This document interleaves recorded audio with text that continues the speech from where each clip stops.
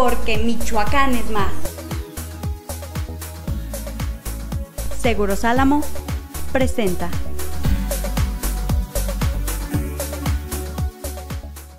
Este domingo llegó a su fin el evento de gastronomía y vino Morel en Boca. Entre la oferta culinaria destacaron los platillos elaborados a base de insectos comestibles que presentó el negocio Bichos Delicious, fuente natural de proteína. Los productos los manejamos más o menos hace aproximadamente unos 5 o 6 años.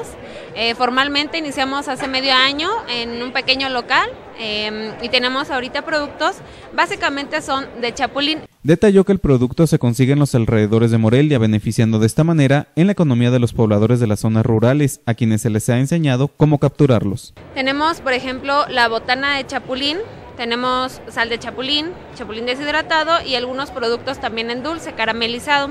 ¿Cuáles son los beneficios que tiene? Bueno, pues que tiene mucha proteína, no se degrada tanto la proteína, por ejemplo, de un 60 y entre 60 y 70% que tiene en comparación con el pescado, por ejemplo.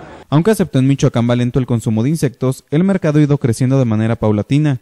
Dijo se deben voltear los ojos a este alimento que según sus palabras será el alimento del futuro. Los bichos pueden ser y son la comida del futuro. ¿Por qué? Porque ahora tenemos que decidir entre en un espacio o poner una casa o poner un cultivo o poner animales para poder comer, ¿no? Si a ti te preguntan, oye, ¿sabes qué? ¿Vas a tener únicamente un espacio que vas a poner tu casa o vas a poner tu cultivo para poder comer o vas a poner tu ganado para poder también comer?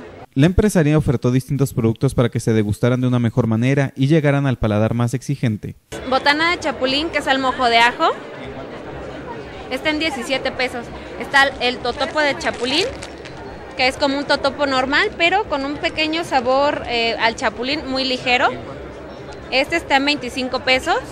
Tenemos también el chapulín deshidratado. Señaló la gente se debe de animar a probar los insectos, ya que además de ser deliciosos, son una fuente natural de proteína. Para Cuasar TV, Felipe Bárcenas.